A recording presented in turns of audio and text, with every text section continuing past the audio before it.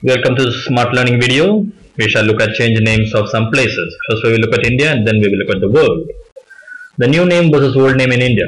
Allahabad was known as Prayag, Bengaluru was known as Bangalore, Chennai was known as Madras, Guwahati was known as Gauhati, Kolkata was known as Calcutta, Kozhikode was known as Calicut, Mumbai was known as Bombay, Panaji was known as Panjim, Patna, the old name is Patliputra, Thiruvananthapuram, the old name is Trivandrum, Vadodara, old name is Baroda, Varanasi, the old name is Banaras.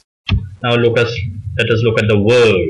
At the world level, Ankara was known as Angora, Beijing was known as Peking, Cambodia was known as Kampuchea, Dhaka was known as Dacca, Ghana was known as Gold Coast, Indonesia was known as Batavia, Iran was known as Persia, Iraq was known as Mesopotamia, Japan was known as Nippon, Malaysia was known as Malaya, Myanmar was known as Burma, one of our neighbors. Netherlands was known as Holland, Sri Lanka was known as Ceylon, Taiwan as Formosa, Thailand as Siam, Yangon as Rangoon, Zaire as Congo, and Zimbabwe as Rhodesia.